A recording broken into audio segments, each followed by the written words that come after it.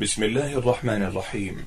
المكتبة الصوتية لمعالي الشيخ الدكتور صالح بن فوزان الفوزان. حلقات تبث في إذاعة القرآن الكريم. نور على الدرب. برنامج يومي. يجيب فيه أصحاب الفضيلة العلماء عن أسئلة المستمعين.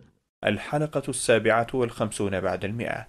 بسم الله الرحمن الرحيم الحمد لله رب العالمين والصلاة والسلام على نبينا وسيدنا محمد وعلى آله وصحبه وسلم مستمعي الكرام السلام عليكم ورحمة الله وبركاته وأسعد الله أوقاتكم بكل خير هذه حلقة جديدة مع رسائلكم في برنامج نور على الدرب رسائلكم في هذه الحلقة نعرضها على فضيلة الشيخ صالح بن فوزان الفوزان عضو اللجنة الدائمة للإفتاء وعضو هيئة كبار العلماء مع مطلع هذه الحلقة نرحب بالشيخ صالح ونشكر له تفضله بإجابة الأخوة المستمعين فأهلا وسهلا. حياكم الله وبارك فيك حياكم الله. نعود مع مطلع هذه الحلقة إلى رسالة وصلت إلى البرنامج من المستمع علي أحمد شركان من السودان حلقة جديدة. أخونا عرضنا له بعض الأسئلة في حلقة مضت وبقي له في هذه الحلقة هذا السؤال. يقول ما هو رأيكم في تخفيف الحواجب الكثيرة بالنسبة للمرأة المحجبة؟ جزاكم الله خيرا. بسم الله الرحمن الرحيم. الحمد لله رب العالمين. صلى الله وسلم على نبينا محمد وعلى آله وأصحابه أجمعين. وبعد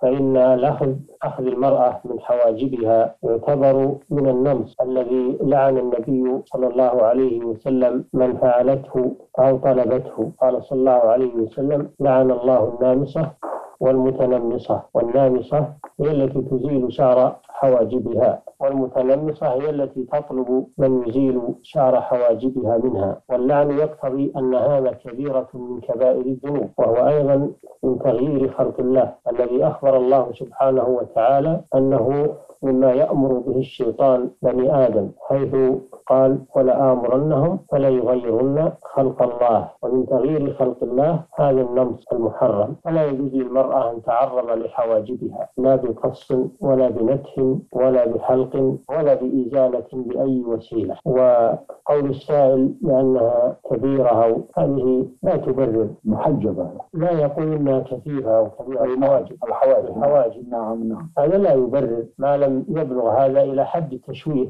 إذا بلغ إلى حد التشويه فإنه يزال ما فيه تشويه فقط. أما ادعى أن الحواجب أن أنها تحتاج إلى إلى إزالة أو تحتاج إلى قص أو إلى كذا فهذه من الأمور التي درج عليها كثير من نساء هذا العصر وقلدهن بعض الجاهلات في ذلك وهذا أمر يجب التنبيه عليه والتحذير منه لأنه منصوص على تحريمه والوعيد عليه ولا يجوز التساهل في هذا الأمر. نعم. جزاكم الله خيرا وأحسن إليكم. يقول المحجبة هل هناك فرق بين المحجبة وغيرها شيخ صالح في هذا الموضوع؟ لا فرق بين المحجبة وغيرها لكن كأن السائل يريد أنها امرأة مستقيمة.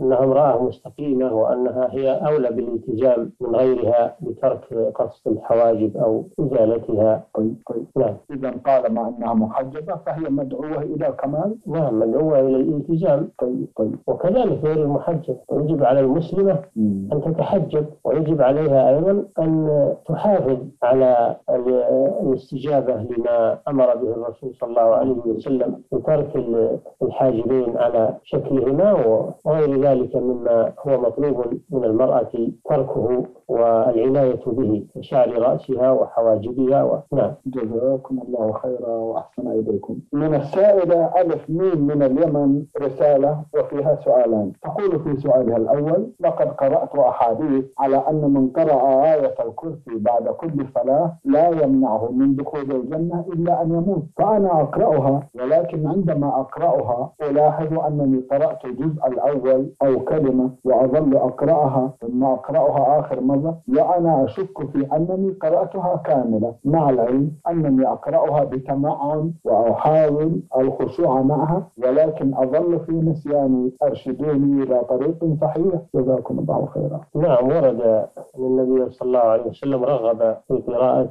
آية الكرسي وقل هو الله أحد والمعوذتين. بعد الفرائض. ويتأكد ذلك بعد صلاة الفجر وصلاة المغرب. ويكرر سورة الإخلاص المعوذتين ثلاث مرات. بعدما يقرأ آية الكرسي يكررها هذه السور ثلاث مرات بعد صلاة المغرب وصلاة الفجر. أما في بقية الفرائض فيقرأها مرة مرة. وفيه هذا الوعد الكريم أن الله سبحانه وتعالى يدخله الجنة إذا مات على ذلك. فقراءة آية الكرسي وقراءة هذه السور الثلاث بعدها مرغب فيها لما فيها من الخير الكثير. وأما ما ذكرته السائلة من أنها تقرأ وتتشكك وتنسى هذا من الوسواس. فلا تلتفت فلا تلتفت إليه. هذا وسواس فلا تلتفت إليه. عليها أن تمضي في قراءتها وتستعين بالله عز وجل. وقبل القراءة تستعين بالله من الشيطان الرجيم. قوله تعالى فإذا قرأت القرآن فاستعذ بالله من الشيطان الرجيم. إنه ليس له سلطان على الذين آمنوا وعلى ربهم يتوكلون. إنما سلطانه على الذين يتولونه. الذين هم به مشركون فعليها أن تتوكل على الله سبحانه وتعالى تستعيذ به والله يعيذها من هذا العدو. نعم. جزاكم الله خيرا وأحسن إليكم. كما أوردت تقول شيخ صالح لا يمنعه من دخول الجنة إلا أن يموت. هكذا ورد في الحديث شيخ صالح. نعم هكذا ورد في الحديث. وشرحه لو تكرمتم. شرحه الوعد بدخول الجنة. من قرأ هذه الآية الكريمة وهذه السور بعدها بنية صالحة. وأنه إذا مات على ذلك على هذه النية وعلى هذا العمل فإنه مرجو له دخول الجنة. وقوله إلا أن يموت لأن لأن الجنة من أمور الآخرة. ولا يحصل دخولها إلا بعد الموت لأنها من أمور الآخرة. نعم. وأمور الآخرة تبدأ بما بعد الموت. نعم. جزاكم الله خيرا وأحسن إليكم. تقول في سؤال آخر واجب المسلم أن يعلم الآخرين ما علم من أمور دينه عندما أقرأ أشياء في أمور ديني وأريد بعد فترة أن أبلغ أخاف أني نسيت شيئا أو أخطأت في بلاغي أو أني قد افتريت على الله وحينئذ أخشى من ذلك. وقد بلغت شيئا غير ما قرأته فهل أعاقب على ذلك؟ جزاكم الله خيرا. يظهر من أسئلة هذه الأخت أنها مبتلاة بالوسواس. مبتلاة بالوسواس فعليها بترك هذا هذه الوسوسة وعدم الالتفات إليها وأن تمضي في طريق الطاعة والتعليم والتعلم والعبادة ولا تتأثر بهذه الوسوسة ولا تلتفت إليها وتستعين بالله عز وجل تستعيذ بالله من الشيطان الرجيم ولا يضرها بإذن الله نعم. جزاكم الله خيرا وأحسن إليكم رسالة من اليمن أيضا يافع وباعثها المستمع أحمد المرفدي الأخ أحمد يقول إننا في بلاد الريفية ونعيش في قرية صغيرة ويوجد لدينا مسجد ينتقل معظم السكان إلى مكان ليس بعيد جدا فيصعب على الكبار في السن النزول إلى هذا المسجد. وأردنا أن نبني مسجدا قريبا لنا مع العلم أن المسجد الأول سيهجر فما الحكم فيما إذا فعلنا ذلك جزاكم الله خيرا. فهذا السؤال وهذا العمل يجب أن يراجع فيه العلماء في بلدكم من القضاة أو وزارة الأوقاف للنظر في هذا الأمر وعمل ما يلزم لأن هذا نقل المسجد إلى إلى مكان آخر أو بناء مسجد بقرب مسجد آخر. لا بد فيه من نظر أهل الاختصاص. وعمل ما يلزم نحو ذلك. فلا نستطيع الآن أن نقول لكم افعلوا أو لا تفعلوا. لأن هذا يحتاج إلى نظر من ذوي الاختصاص ووقوف على المكان ومعاينة للسكان حول المسجد الأول والمسجد الجديد الذي يريد الذي يراد إنشاؤه وعمل الأصلح. نعم. جزاكم الله خيرا وأحسن إليكم. يذكر أن كبار السن لا يستطيعون الوصول إلى هذا المسجد إلا بالمشقة شيخ صالح الذي يستطيع الوصول إلى المسجد ولو بمشقة يصبر وهو على أجر. الله المستعان لقوله صلى الله عليه وسلم للأعمى الذي جاءه وذكر له ما يلاقي من المشقة بينه وبين المسجد. وليس له قائد يلائمه. طلب من النبي صلى الله عليه وسلم أن يرخص له أن يصلي في بيته. قال النبي صلى الله عليه وسلم له هل تسمع النداء؟ قال نعم. قال أجب فإني لا أجد لك رخصة. وكذلك في قول ابن مسعود رضي الله تعالى عنه لما ذكر اهتمام الصحابة رضي الله عنهم بصلاة الجماعة وحضور المساجد. قال ولقد رأيتنا وما يتخلف عنها إلا منافق معلوم النفاق. ولقد كان الرجل يؤتى به يهادى بين الرجلين حتى يقام في الصف. ذكر أنهم يأتون بالرجل الذي لا يستطيع المشي بنفسه. وإنما يمسكه رجلان ويقيموه في الصف. دل على أن المسلم إذا كان يستطيع الحضور لصلاة الجماعة ولو مع المشقة فإنه يصبر على ذلك وله في ذلك الأجر العظيم. نعم. بارك الله فيكم شيخ صالح إذا هناك مشقة تستطاع ومشقة لا يستطاع عليها. المشقة التي لا تستطاع كالمريض طيب. الذي لا يستطيع المشي أو أو المقعد. نعم. أو الذي يحول بينه وبين المسجد عدو أو سبع أو خوف محقق. مم. هذا يعذر. طيب طيب. وله أن يصلي في مكانه. نعم. جزاكم الله خيرا وأحسن إليكم. بعد هذا رسالة بعث بها المستمع جمال بسيوني من مدينة بسيون في جمهورية مصر العربية ومقيم في الباحة حين كتب الرسالة يقول رجل سافر إلى بلد غير بلده وترك زوجته وهي حامل وقبل الرجوع إلى بلده وضعت الزوجة مولود وبعدما علم بقدوم المولود ذهب إلى بلده وفي الطريق قبل الوصول إلى بلده توفي الزوج. فهل على الزوجة عدة في ذلك الوقت أم لا؟ نرجو الإفادة. جزاكم الله خيرا نعم إذا توفي زوجها وهي غير حامل فإن عليها العدة عدة الوفاة بأن تعتد أربعة أشهر وعشرة أيام. قوله تعالى الذين يتوفون منكم ويذرون أزواجا يتربصن بأنفسهن أربعة أشهر وعشرة وتبدأ العدة من الوفاة من تاريخ الوفاة. أما إذا كانت حاملا إذا توفي عنها زوجها وهي حامل نعم. فإن عدتها تكون بوضع الحمل. طال أو قصر قوله تعالى وأولاة الأحمال أجلهن أن يضعن حملهن وهذا عام في المتوفى عنها وفي غيرها من المفارقات فعدة الحامل المتوفى عنها بوضع الحمل ولو بعد الوفاة بفترة يسيرة أو ساعة أو طال أو طالت مدة الحمل فإنها لا تخرج من العدة حتى تضع حملها. ولو زاد ذلك عن أربعة أشهر وعشرة أيام على الراجح من قولي العلماء. نعم. جزاكم الله خيرا وأحسن إليكم. بعد هذا رسالة بعث بها مستمع يقول محمد أبو الخير مصري مقيم في دبي. رسالته بل سؤاله مطول بعض الشيء. ملخصه أنه بعد أن قرر الزواج أصرت والدته على زواجه من ابنة خالتي يقول إن والدته أصرت على زواجه من ابنة خالته وحينئذ كان كانت رغبته قليلة في تلك البنت المقترح زواجه منها وبدأ يستشير الآخرين وممن استشار أخوه لكنه أيضا قاطعه عندما أبدى له تلك الرغبة ويسأل هل رفضه لتلك المخطوبة يعد عقوقا لوالدته شيخ صالح أو لا جزاكم الله خيرا. الزواج لا بد أن يكون عن رغبة. من الطرفين بأن يرغب الزوج المرأة وترغب المرأة الزوج. وليس لأحد أن يفرض على الشخص أن يتزوج بامرأة لا يرغب الزواج منها لا الوالد ولا غيره. لما في ذلك من عدم حصول المقصود لأنه إذا تزوج بامرأة لا يرغبها أو تزوجت برجل لا ترغبه فإنه قد لا يحصل الغرض المطلوب من الزواج وهو الوئام والوفاق والأغراض الزوجية نعم. فعلى هذه الوالدة أن تتنازل عن هذا الإلزام وأن تترك الاختيار لابنها إلا إذا أراد أن يتزوج بمن لا تصلح له من ناحية دينه نعم. فإن لها حق الرفض ولها حق المنع أما ما دام أنه يريد امرأة صالحة في دينها وأخلاقها وهي تريد أن تفرض عليه امرأة أخرى لا يريدها فإنه لا يلزمه الطاعة في هذا الأمر. لكن عليه أن يقنع والدته وأن يتفاهم معها برفق ولين وما أظنها تمانع إذا رأت من ابنها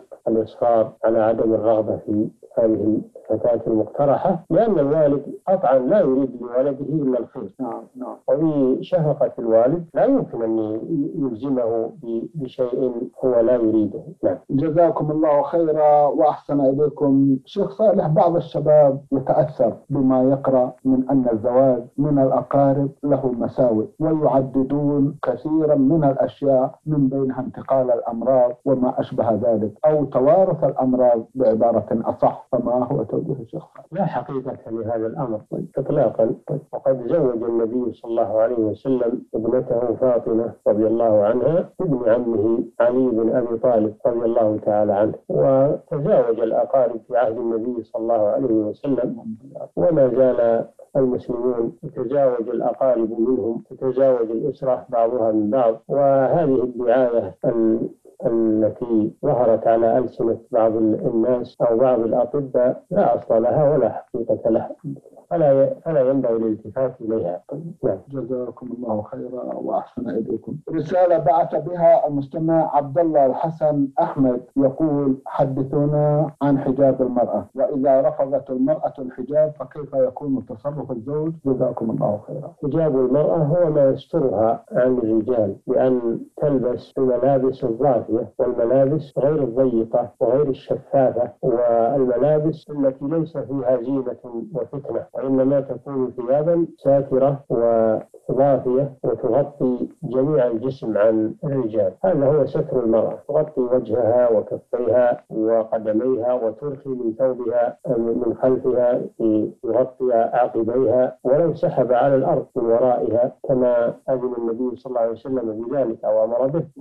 لما فيه من الستر للمرأة. الحاصل أن حجاب المرأة هو ما يستر جميع جسمها عن الرجال غير الأجانب عن الرجال غير المحارم بما في ذلك وجهها وكفاها وسائر بدنها. هذا هو الحجاب الصحيح الذي يدرأ الفتنة عن الرجال والنساء. قال سبحانه وتعالى في أزواج نبيه صلى الله عليه وسلم وإذا سألتموهن متاعا فاسألوهن من وراء حجاب ذلكم أطهر لقلوبكم وقلوبهن. فإذا كان نساء النبي صلى الله عليه وسلم الطاهرات المطهرات مأمورات بالحجاب عن الرجال فإن غيرهن من باب أولى. وأيضا نساء النبي صلى الله عليه وسلم هن القدوة لنساء الأمة والتعليم بقوله ذلكم أطهر لقلوبكم وقلوبهن عام عام في نساء النبي صلى الله عليه وسلم وفي غيرهن لأن الطهارة مطلوبة لجميع الأمة. نعم. جزاكم الله خيرا الشق الثاني من سؤال الشيخ صالح إذا امتنعت الزوجة عن الحجاب تلزم بذلك. تلزم. قال تعالى الرجال قوامون على النساء بما فضل الله بعضهم على على بعض. وبما أنفقوا من أموالهم فالرجل وهو الزوج أو الولي له القوامة على المرأة بأن يلزمها بالحجاب ويؤدبها على ذلك حتى تلتزم. نعم. بارك الله فيكم. إذا لابد من أن تحتجب المسلمة إذا ما أرادت أن تبقى مع زوج مسلم. لابد من هذا. بارك الله فيكم جزاكم الله خيرا. يسأل أخونا عن الدعاء الذي ورد عن الرسول صلى الله عليه وسلم عندما يمر الإنسان على على المقابر. كان صلى الله عليه وسلم إذا مر بالمقابر يستقبلهم بوجهه ويقول السلام عليكم أهل الديار من المسلمين والمؤمنين وإنا إن شاء الله بكم لاحقون يرحم الله المستقدمين منكم منا ومنكم والمستأخرين نسأل الله لنا ولكم العافية اللهم لا تحرمنا أجرهم ولا تفتنا بعدهم واغفر لنا ولهم. جزاكم الله خيرا وأحسن إليكم يقول في بعض الأحيان الإنسان يكون غضبان ويدخل عليه الشيطان في هذا الوقت يحصل منه حلف بالله أو بالطلاق أنه لا يعمل هذا العمل. فإذا عمله ماذا يعمل؟ لأنه وقع منه الحلف بالله أو بالطلاق. جزاكم الله خيرا. أولا يجب على المسلم أن يحفظ لسانه من الحلف فلا يحلف على كل شيء ولا سيما الحلف بالطلاق بما فيه من الخطورة. أما ما ذكره السائل من أنه حلف بالله وحلف بالطلاق أيضا لأنه لا يفعل شيئا وفعله فهذا يعتبر قد حنث في يمينه فمن ناحية اليمين بالله تجب عليه الكفارة وهي إطعام عشرة مساكين أو كسوتهم أو تحرير رقبة يعني عتاق رقبة مخير بين هذه الأمور الثلاثة. إطعام عشرة مساكين لكل مسكين نصف الصاع وهو مقدار كيلو ونصف تقريبا من الطعام. أو كسوتهم بإعطاء كل مسكين ثوب يستره إعطاء كل مسكين ثوبا يستره. أو إعتاق رقبة فإذا لم يستطع شيئا من هذه الثلاث فإنه يصوم ثلاثة أيام أما من ناحية الطلاق الذي حلف به أن لا يفعل هذا الشيء وفعله فهذا راجع إلى نيته على الصحيح. إن كان نوى إيقاع الطلاق عند فعلها عند فعله لهذا الشيء فإنه يقع الطلاق يقع به طلقة واحدة. وإذا لم يسبقها طلقتان فإنه يراجع زوجته ويبقى له عليها طلقتان. وإن كان سبقها طلقة فإنه يراجع أيضا زوجته ويبقى له عليها طلقة واحدة. أما إذا سبق هذا الطلاق طلقتان من قبل. فإنه تتكمل به الثلاث وتبين منه بينونة كبرى لا تحل له إلا من بعد أن تنكح زوجا غيره ويطلقها ذلك الزوج راغبا عنها أما إذا كان لم ينوي الطلاق.